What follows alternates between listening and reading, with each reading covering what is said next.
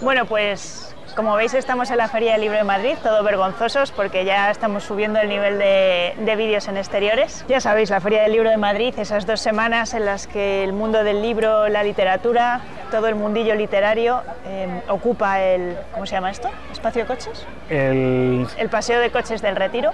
Son 361 casetas y hay editores, hay libreros, hay un montón de conferencias, hay autores firmando libros y está prácticamente todo el mundo... Llueve muchísimo, eh, muchísima gente de todo pelaje y la verdad es que los que vivimos en Madrid pues tenemos la suerte, venimos un montón y es un momento muy bonito. Está aquí grabando, ¿verdad? Sí. A nosotros nos interesa especialmente por el lado de los editores. A la Feria del Libro de Madrid vienen casi todos los editores que nos interesan. Decimos casi todos porque, bueno, algunos no tienen la posibilidad de venir porque cuesta un dinero venir a la caseta. Sí, por toda la polémica que hubo ha habido polémica con esto, mm. pero los que pueden venir pues traen todo su fondo vivo y, y, nosotros tenemos la posibilidad de ojear y de comprar algunos libros que en realidad ya no están en las librerías y que los editores pues todavía tienen en su fondo ¿Has dicho que lo que más nos interesa son los editores? Sí. Por eso hemos venido a la Feria del Libro de Madrid, por eso estamos al lado de la caseta de la editorial Las Afueras. Nuestra intención es ir a la caseta, hablar con el editor, editora o encargado de la caseta que esté allí, preguntarle cómo se vive la Feria del Libro desde dentro, ojear un poco el fondo vivo que tienen allí, los libros que han traído Imaginamos que esto se oirá porque aquí hay un escándalo de chavales Hay un montón de niños que acaban de llegar. Y también vamos a comprar unos libros, pero vamos a hacerlo con una limitación. Vamos a comprar un solo libro de la editorial Las Afueras. ¿Qué sería la vida sin las limitaciones? Sí, algo muy bello, pero bueno.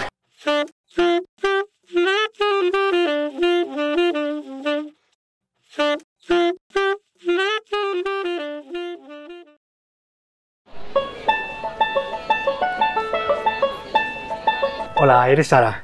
Hola, sí. ¿Qué tal? Estamos en la caseta de las afueras. Vamos a preguntarle a Sara eh, que nos recomiende algún buen libro de la editorial Las Afueras que nos encanta. Antes de eso, queríamos preguntarte cuál es un poco tu función en la editorial. Cuéntanos, ¿estás, ¿les ayudas en la feria? Bueno, cuéntanos. Bueno, para mí la editorial Las Afueras desde que empezó siempre ha sido una de las editoriales amigas, hermanas, eh, soy lectora y yo he sido librera durante bastantes años y ahora mismo les ayudo en feria. Vale, hemos leído en una entrevista de Magda, una, la editora junto con Curro de la editorial Las Afueras, que cuando le preguntaban qué es una editora, ella decía, una editora es una persona que a través de su catálogo eh, hace una especie de relato hecho de relatos. Y te queríamos preguntar, tú que conoces bien la editorial, eh, ¿cuál es el relato de las afueras, si es que lo hay? Bueno, esa pregunta la contestarían mejor los editores, que son los que realmente conocen el, relato, pero eh, desde, vamos, personalmente creo que las afueras ha venido a llenar un, hueco, sobre todo un hueco que había en la publicación de, de autoras latinoamericanas, también norteamericanas. Un poco empezó con libros que estaban relacionados con los cuidados, con la maternidad. Eh, ahí había un vacío importante, nos estaban eh, editando ¿no? Eh, libros de mujeres que hablaban, hablaran sobre el conflicto ¿no? de, de, la, de, la, escritura, de cómo enfrentarse a la escritura y conciliarla. ¿no? Y conciliar con, los cuidados. Con la precariedad laboral, con los cuidados y a partir de ahí también tiene una línea muy, muy potente de autoras eh, y autores latinoamericanos que, que bueno, que, que, estaban llegando más en cuentagotas. ¿no? Recomiéndanos algún buen libro de las afueras, algo que tú creas que, debamos leer, ayúdanos un poquito. Bueno, las afueras tiene muy buenos libros, entonces es difícil eh, seleccionar un par. Damos fe Pero, a ver, eh, para mí... Mm, sería eh, Tilly Olsen, ¿vale? Eh, Silencios, porque Las Afueras tiene dos colecciones, una más de narrativa y otra de ensayos, que se llama Libros Chiquitos. Y este sería, eh, bueno, es una autora de Nebraska de principios de siglo, ¿vale? Es una autora que es hija de eh, inmigrantes judíos y es una autora que es autodidacta, ¿vale?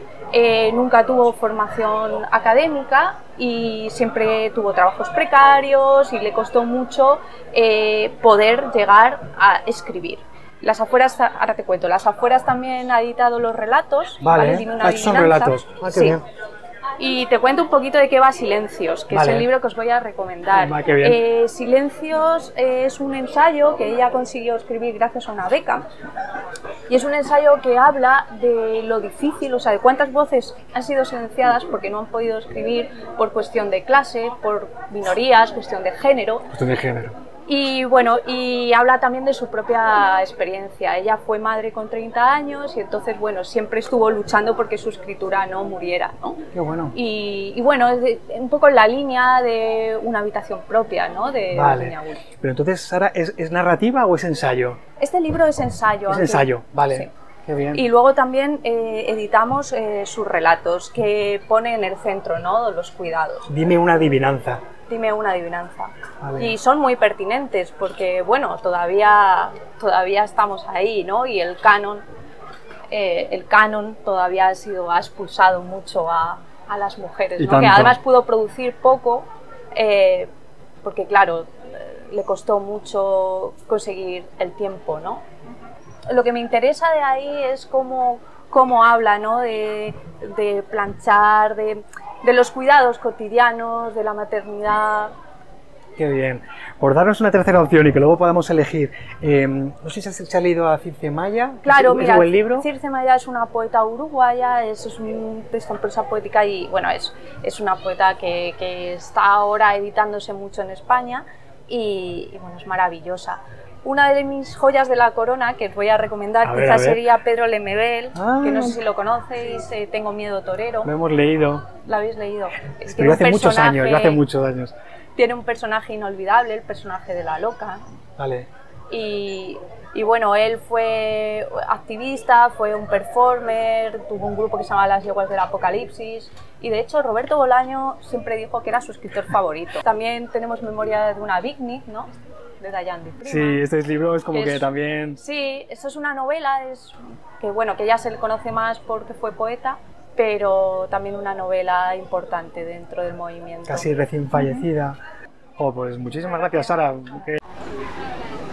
Bueno, ya hemos hablado con, con Sara, estamos, seguimos a la caseta, pero... Fuera de cámara nos ha comentado que el libro de un viaje a salto Circe, de Circe Maya tiene un prólogo de Mercedes Alfón, que también está editada en las afueras.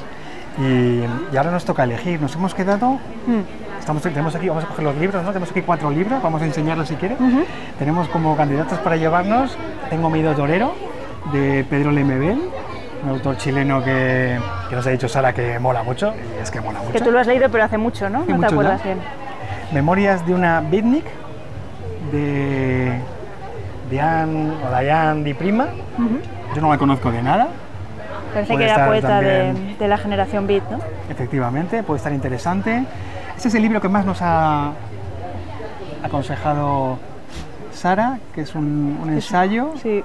en plan ahí sobre los silencios, propia, ¿no? Una habitación propia y... Yo no conocía que las afueras, no sabía que las afueras se editaba ensayo, la verdad. Sí, yo tampoco, pensaba que iba a ser mm. narrativa, pero bien. Y también este de Circe Maya, ¿no? También es uno de los de un viaje a salto. Un viaje a salto, que tiene una, buena pinta. Pues vamos a ver cuál, cuál nos llevamos.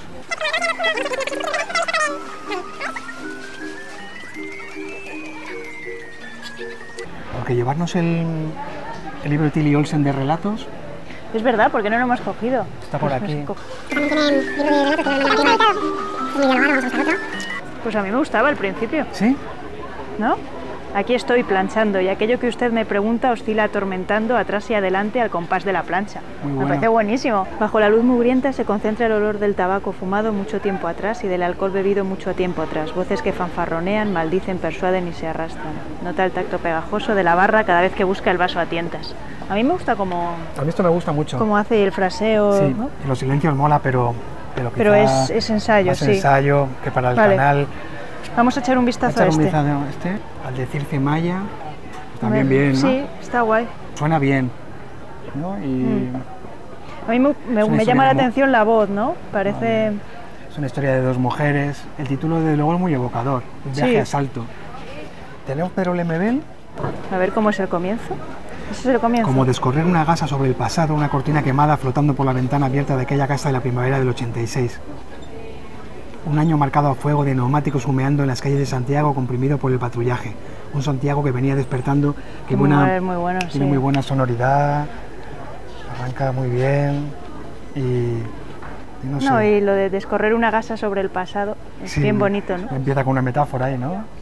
Bueno, este libro tenemos, o sea, esto va a caer en algún va a caer en momento, algún momento, porque es es un que buen esto libro. es, es- y a ver este, Y el de Memorias de una Beatnik. de Diane Di Prima.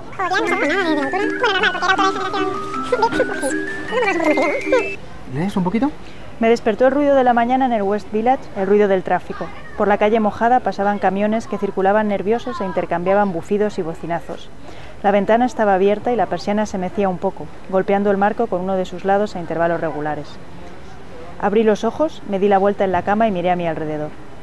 El amarillo chillón de la habitación contrastaba con la pálida luz gris de un amanecer lluvioso. Se, a- se ¿Cuántos me da un poco de pereza ¿no? el enganche tan obvio entre los dos párrafos. ¿no? Abrí los ojos, me di la vuelta y miré a mi alrededor y empieza la descripción Sí, de la ¿cuántos, habitación. re- cuántos relatos hemos leído que empiezan con me levanté por la mañana y este está muchísimo más? Hombre, claro. oye, obviamente. Creo que es un texto medio erótico. Vale, pues vamos a decidirnos, ¿no? A ver qué hacemos, porque tenemos que llevarnos un solo libro. No sé si os, Sí, os recordamos que el juego es Vale. un solo libro de ¿cuál, Editorial Las qué- Afueras. ¿cuál apuesta? ¿Cuál es el tuyo? Yo, de Tilly Olsen, me llevaría, de llevarme, me llevaría los relatos. Sí, yo estoy entre, por el tema de, de llevarnos narrativa, yo estoy entre el de Tilly Olsen de, de los, de, los, de los relatos, que es la recomendación además de Que suena de muy bien, Sara, desde luego hemos leído el primero. y luego el de Lemebel, El del MBL, ¿no? Pues no sé, ¿qué te el de? Tilly Olsen yo creo, ¿no? ¿Sí? Venga. Te has ido, te has ido de la cámara, no se te ve. No se me ve, ya está. Danos este libro y ya te diremos. ¿En efectivo te puedo pagar? Sí, claro. La feria tiene 5%. Ay, muchísimas gracias, Sara. Ay, qué gusto. Ay, muchísimas gracias. Ay, nos Qué ha bien. regalado el de los silencios. Ah, o sea qué que vamos a bueno. leer a Tilly Olsen completa. Vale, Qué bueno. Bueno, acabamos de salir de la caseta de las afueras. Estamos sentados aquí. Nos hemos salido un poquito de, de toda la marabunta de la feria. Estamos aquí en el Retiro, que es un lugar maravilloso. Estamos un poco cansados, así que si nos notáis un poco Sí. cansados, pues es que estamos un poco cansados porque nos hemos grabado varios vídeos Y seguidos. nada, solamente queríamos enseñaros lo que, lo que hemos comprado en las afueras, que es dime. Dime una adivinanza de Tilly Olsen. Contando si habréis elegido vosotros otro libro, habría- os habréis quedado con, con otro, si, le hubierais, si, si habréis querido que, que.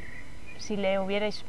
¿Cómo es? ¿Habréis? Si hubierais, si le hubierais hecho otra pregunta, claro, contándonos, contándonos también qué os parece el vídeo. Se parece un poquito a este al que hicimos de la lumbre, de la librería, Sí. pero no es exactamente igual. Y luego has tenido un detalle bonito, ¿no? Porque nos ha regalado el del ensayo de Silencio, también de la misma autora, Tilly Olsen, para que tengamos como una perspectiva más general de ella. Prólogo de Marta Sanz. Este libro va a estar muy guapo, seguro Sí. que también. Pues nada, que os guste el vídeo. que os guste y contadnos un poco qué os parece esta idea de, de, eh, hacer vídeos en la Feria del Libro de Madrid. Chao. ¡Chao!